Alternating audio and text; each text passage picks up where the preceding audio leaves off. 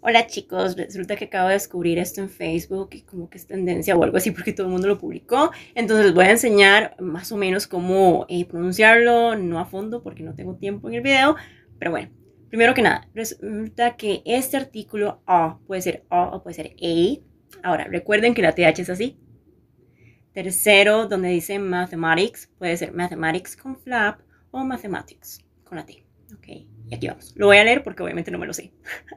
Hasta ahorita lo leí. Ok, aquí voy. Dice, A real mathematician can mathematically mathematize mathematics in a mathematical mathematization.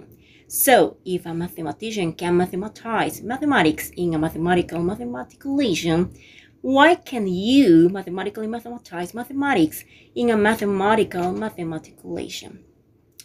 Like the mathematician who mathematically mathematizes mathematics in a mathematical mathematicalization. ¿No me brinque nada? Creo que no. Y bueno, eso sería.